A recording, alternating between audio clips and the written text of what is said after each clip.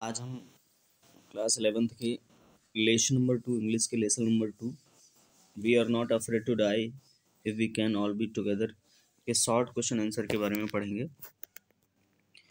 तो ये additional questions हैं शॉर्ट क्वेश्चन आंसर है, जिसमें से दो प्रश्न आपके एग्ज़ाम में लिखने के लिए आते हैं। तो जो है इम्पोर्टेंट है, इसको समझना है और आप जो है इसको अपने नोट्स बुक में लिख लिख लेंगे, लिख सकते हैं। चलिए देखते हैं। पहला प्रश्न क्या है? आंसर द फॉलोइंग क्वेश्चन पहला क्वेश्चन है when and how did the first indication of the impending disaster came ठीक है? तो इम्पेंडिंग डिजास्टर मतलब आने वाली विपदा या आने वाली विपत्ति।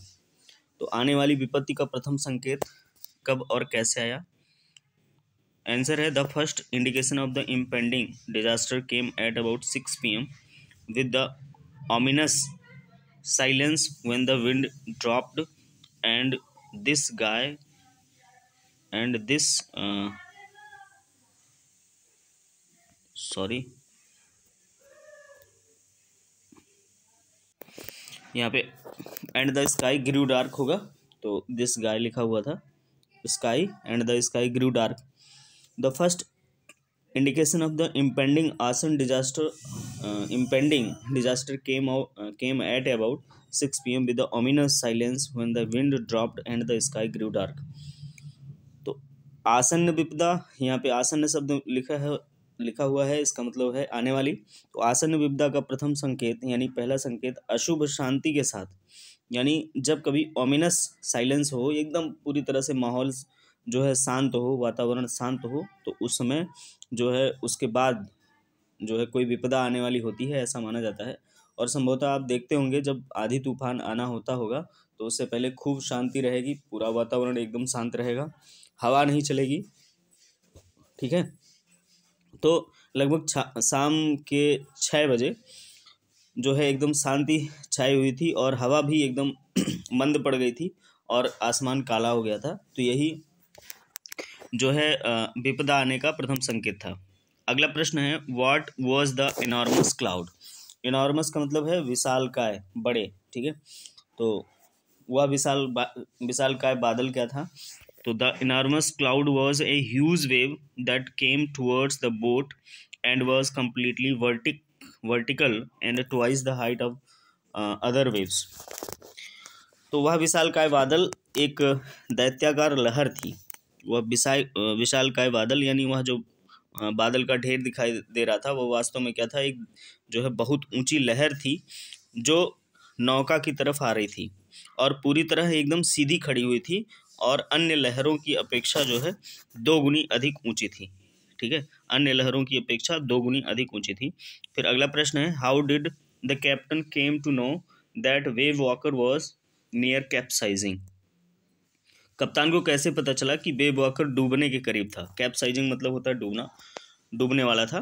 तो आंसर है the captain saw from the sea that the masts of the board were most were almost horizontal and he thought that sea was almost capsizing यहाँ पे सी जो है बेब वॉकर के लिए यूज़ किया गया है। तो समुद्र में से कप्तान ने देखा, यानी समुद्र में नाव को खेते समय या जहाज़ पर बैठे हुए कप्तान ने देखा कि नौ, नौका का जो मस्तूल था, मास्ट था, वह लगभग क्षैतिज हो गया है, यानी समुद्र के समानांतर यानी वह टेढ़ा हो गया है और उसने सोचा कि अब नाव जो है डूबने वाली थी। अगला प्रश्न है write about the first step on their journey of their journey write about the first step of their journey यानी उनकी यात्रा के प्रथम चरण के बारे में बताएँ। या लिखें the first is the first step of journey is which they covered one lakh five thousand kilometres passed pleasantly as they reached to Cape Town तो यहाँ पे टिप्स uh, टिप लिखा है। यहाँ पे टिप uh, नहीं होगा स्टेप होगा। ठीक है? तो हमने सही कर दिया है। ये अब स्पेलिंग जो है देख लीजिए। तो the first step of journey in which they covered one lakh five thousand kilometer past pleasantly as they reached to Cape Town. तो उनकी यात्रा का प्रथम चरण, जिसमें उन्होंने लगभग एक लाख पाँच हज़ार किलोमीटर की यात्रा बड़ी सहर्षता के साथ, यानी प्रसन्नता के साथ, शांतिपूर्वक पहुँचे तय की कहाँ पहुँचने के लिए? केप टाउन पहुँचने के लिए। तो केप टाउन जो है, अफ्रीका, दो, जो अफ्रीका महाद्वीप है तो उसका एक देश है दक्षिण अफ्रीका। तो दक्षिण अफ्रीका का जो है दक्षिणतम बिंदु है, केप टाउन के नाम से जाना जाता है, ठीक है? तो केप मतलब होता है एक अंतरीप होता है केप मतलब ठीक है? और इसी अंतरीप पर एक शहर बसा हुआ है तो उसी का नाम है केप टाउन, ठीक है? तो ये आपको समझना है। चलिए, आगे देखते हैं। Why was the captain alarmed while facing the gales gales का मतलब होता है कि जो भयानक जो प्रचंड समुद्री हवाएँ चलती हैं, उनको गेल्स कहा जाता है। यानी समुद्री तूफानों का सामना करते समय कप्तान जो है किस बात से चौंक गया? क्यों वह चौंक गया? तो अलार्म का मतलब होता है चौंक जाना। तो क्यों जो है वह चौंक गया? तो wild facing the gales the captain was alarmed by the size of the waves which were up to fifteen metres high तो प्रचंड समुद्री हवाओं, यानी बहुत ऊँची समुद्री हवाओं का सामना करते समय कप्तान लहरों के आकार को देखकर चौंक गया, जो लगभग कितनी ऊँची थी? तो पंद्रह मीटर के आसपास, यानी लगभग पंद्रह मीटर की ऊंचाई पे थी, ऊँची थी। फिर अगला क्वेश्चन है what did the captain do with hammer screw and canvas ठीक है तो what did the captain do with the hammer screw and canvas कप्तान ने हथौड़े स्क्रू और कैनवास की सहायता से क्या किया? यानी कप्तान ने जो है हथौड़े स्क्रू और कैनवास से क्या किया? तो he managed to stretch the canvas on the starboard side and screw waterproof hatch covers across the gaping holes तो उसने जो है किसी प्रकार दाएँ ऊपर मतलब he manage to stretch the canvas on the side board starboard side तो उसने कि, किसी प्रकार के किसी प्रकार कैनवास के ऊपर कैनवास का दायां भाग जो है ऊपर की तरफ़ ताना और छिद्रों and secure waterproof hatch covers across the gaping holes और छिद्रों से छिद्रों के ऊपर मजबूती से जो है जल रोधी, यानी पानी को अंदर ना आने का दरवाज़ा तैयार किया। या आप समझ सकते हैं कि उसको कवर कर दिया ताकि जो होल्स हैं, गैपिंग होल्स हैं, वो बंद हो जाए। ठीक, फिर अगला है question what hurt Sue Sue को जो है कैसी तकलीफ़ थी, यानी सू को कैसा दर्द हो रहा था? तो there was a bump above her eyes which hurt her तो उसकी आँखों के ठीक ऊपर एक जो है बम्प मतलब एक ऊँचा सा भाग हो गया था चोट की वजह से तो उसको बोलते हैं गूमड़। गूमड़ उभर आना, है ना? क्या कहते हैं उसको? गूमड़। गू मड़ गूमड़ उभर उभर जाना तो बम्प का मतलब होता है गूमड़, ठीक है? और यही चोट लगने की वजह से अगर हो जाता है तो उसको बोल देंगे गूमड़, और अगर जो है ऊँट के ऊपर निकला हुआ है बम्प तो उसको बोलते हैं कुबड़। समझ में आ रहा है?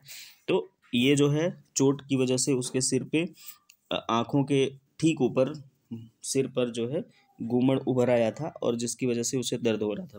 फिर अगला क्वेश्चन है व्हाट वाज आइल एम्स्टर्डम ये आई एल ई लिखा है, ठीक है? ये आई एल ई है आई एल ई आइल लिखा है। तो व्हाट वाज आइल एम्स्टर्डम तो it was a sixty five kilometre long volcanic volcanic island which was now a French scientific base तो आयल एम्स्टर्डम जो है एक पैंसठ किलोमीटर लंबा, ज्वालामुखी द्वीप था, यानी ज्वालामुखी के द्वारा बना हुआ द्वीप था, जो जो है अब फ्रेंच का एक वैज्ञानिक अंडा था अड्डा था सॉरी अंडा नहीं, अड्डा था, यानी फ्रांसीसी वहाँ पर जो है अपना साइंटिफिक बेस बनाए हुए हैं। ठीक है? एल आइल एम्स्टर्डम पर। ठीक? तब की बात है। और यह क्या था? तो ज्वालामुखी द्वीप था। वॉल्केनिक आइलैंड मतलब होता है ज्वालामुखी। ज्वालामुखी द्वीप। ज्वाला मुखी। ठीक है? ज्वालामुखी वाला द्वीप था। तो फिर अगला क्वेश्चन है।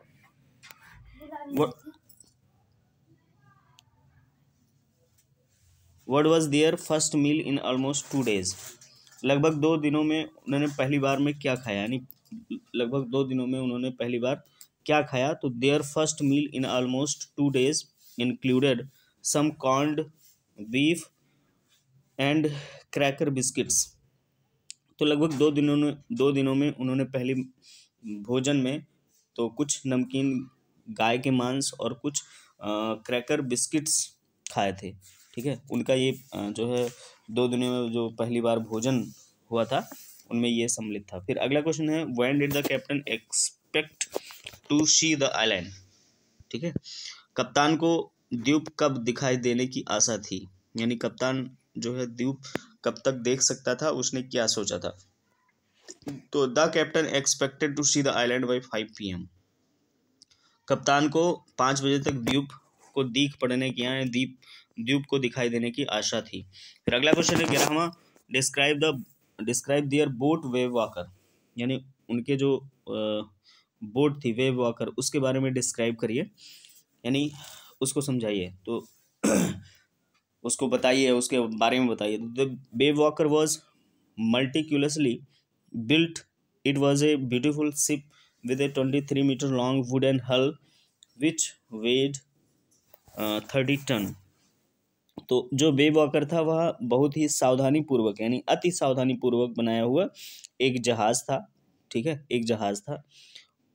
It was a beautiful ship with a twenty three metre long wooden hull which weight thirty ton यह एक सुंदर जहाज़ था, जिसका लकड़ी का ढांचा लगभग तेईस मीटर लंबा था और इसका वज़न जो था, वह तीस टन के आसपास था। तो यहाँ पे वुडन हल लिखा है, ठीक है? तो इसका मतलब है लकड़ी का ढांचा, इसका मतलब है लकड़ी का ढांचा ढांचा। तो इसका लकड़ी का ढांचा जो है कितने मीटर लंबा था? तो तेईस मीटर लंबा था, ठीक। फिर अगला प्रश्न है, question number twelve. When did the narrator set out on his journey and who accompanied him तो लेखक ने जब अपनी यात्रा शुरू की थी तो उनके साथ कौन कौन था? ठीक है? तो उनके साथ कौन कौन था? जब लेखक ने अपनी यात्रा शुरू की थी। तो the narrator his wife Mary his six year old son Jonathan and his seven year old daughter Suzanne set out on their journey in July nineteen seventy six उन्नीस सौ छिहत्तर में जब लेखक ने अपनी यात्रा शुरू की थी तो उस समय जो है लेखक के साथ उसकी पत्नी मैरी उसका छः वर्षीय बेटा जोनाथन और सात वर्षीय पुत्री सुजैन थी। फिर अगला प्रश्न है what worried the narrator when strong gales continue to blow for weeks ठीक है, जब कई सप्ताह तक हवाएँ तेज रहीं तो लेखक जो है किस बात से चिंतित हुआ? तो लिखा है the enormous size of the waves worried the narrator as they were to fifteen metres high तो लेखक को जो है चिंता इस बात की थी कि जब इतने दिन तक जो है हवाएँ तेज़ बहती रहीं तो उन्हीं बीच में जो उसके सामने एक लहर जो पंद्रह, यानी लहरें जो पंद्रह मीटर की ऊँची थी, उनको देखकर लेखक चिंतित हुआ था। तो ये enormous size of the waves मतलब जो विशालकाय लहरें थी, उनके बारे में बात हो रही है। फिर क्वेश्चन नंबर चौदह है how did they console themselves on New Year's Day ठीक है? तो नौ वर्ष के दिन उन्होंने अपने आप को किस प्रकार से सांत्वना दी, दिलासा दी? The weather continue to be bad answer है the weather continue to be bad there was no improvement in it but the reason that it would change soon the weather continue to be bad लगा, मौसम लगातार खराब हो रहा था। There was no improvement in it मौसम में कोई, उन्होंने सुधार नहीं देखा। यानी मौसम में कोई सुधार हो रही, हो नहीं रहा था। But the reason that it would change soon लेकिन उन्होंने यह, अपने आप को यह दिलासा दी, यह समझाया कि जो है, मौसम जल्द ही क्या हो जाएगा? सही हो जाएगा, या मौसम शीघ्र ही बदल जाएगा। फिर अगला क्वेश्चन है। Question number fifteen what did Sue's card से ठीक है? पंद्रहवा क्वेश्चन है कि व्हाट डिड सूज कार्ड से सू के सू ने जो कार्ड बनाया था कार्डबोर्ड बनाया था, उसमें क्या था? In Sue's card the captain and his wife Mary drawn as funny people Sue ने अपने कार्ड में अपने जो है कप्तान और उसकी पत्नी को एक हास्यास्पद तस्वीर के रूप में चित्रित किया था and card expressed love for both of them and hope for the best और कार और कार्ड में जो है, उन दोनों के प्रति असीम प्रेम को दर्शाया गया था और अच्छे समय के लिए जो है, आशा व्यक्त की गई थी। ठीक है? तो एक्सप्रेस मतलब होता है दर्शाना। क्वेश्चन नंबर सिक्सटीन है what locked the pumps what locked the pumps तो पंप जो पानी निकाल रहा था किस चीज़ों से अवरुद्ध हो गए थे? तो आंसर है the debris floating around the cabins blocked the pumps ठीक है? तो केबिन के चारों ओर बिखरे मलबे तो डेबरीज का मतलब होता है मलबा जो समुद्र में हम लोग मलबा फेंक देते हैं बोतल वगैरह ये सब वहाँ पे आ, समुद्र के बीचों बीच या समुद्र में चले जाते हैं तो वही सब। तो केबिन के चारों ओर बिखरे मलबे जो है, पंप में फंस रहे थे और पंप को पानी बाहर फेंकने से रोक रहे थे या अवरुद्ध कर रहे थे। फिर क्वेश्चन नंबर सेवनटीन है who were busy pumping out of out water ठीक है? तो पानी बाहर निकालने में कौन लोग व्यस्त थे? तो Larry and Herb Herb were busy pumping out water तो दो लोग और थे, इन लोगों के साथ लैरी और हर्ब आप लोगों को पता है, एक जो है, स्विट्जरलैंड का निवासी था और एक अमेरिका से था। तो दोनों जो है, पानी को बाहर निकालने में व्यस्त थे। तो ये इस तरह से आपका लेसन नंबर टू का क्वेश्चन आंसर समाप्त होता है और जो है, जो अगला लेसन पढ़ाया जाएगा, उसका भी क्वेश्चन आंसर दिया जाएगा। आप इसको ध्यान से सुने और जो है, इसे नोट्स बुक में नोट कर लें ताकि आने वाले एग्ज़ाम में जो है, आप बढ़िया से याद करके और अच्छा सा नंबर लेके आएँ। और हम जो है आपके स्वर्णिम भविष्य की कामना करते हैं। इसके साथ साथ आप चैनल को सब्सक्राइब करें, लाइक करें और शेयर करना ना भूलें। ओके, धन्यवाद, जय हिंद।